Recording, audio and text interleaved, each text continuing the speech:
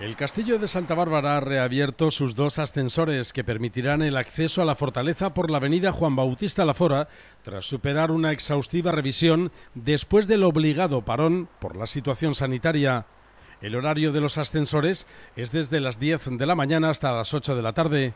El castillo de Santa Bárbara es el monumento más visitado de la ciudad de Alicante, con unas 400.000 personas que vienen cada año a recorrer la fortaleza. Está situado en lo más alto del monte Benacantil y data del siglo X.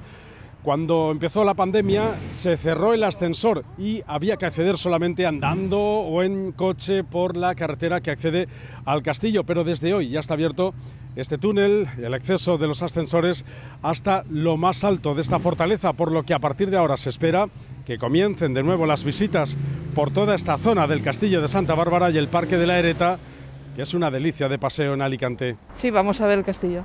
Ya, vamos a enterarnos de cómo funciona y vamos a tratar de cogerlo, sí. Ya bajaremos andando luego. A Asturias venimos, vamos a ver y luego el barrio de Santa Cruz, que tampoco lo conocemos. A ver si nos gusta, seguro que sí. La visita a la fortaleza del castillo de Santa Bárbara de Alicante es un destino fundamental para quien visita la ciudad. El recorrido recomendado es subir a la fortaleza por el ascensor, maravillarse con las vistas panorámicas que se ven desde allí y luego bajar por el Parque de la Ereta hasta el barrio de la Santa Cruz, callejear por sus calles y disfrutar de uno de los rincones más emblemáticos de la ciudad de Alicante.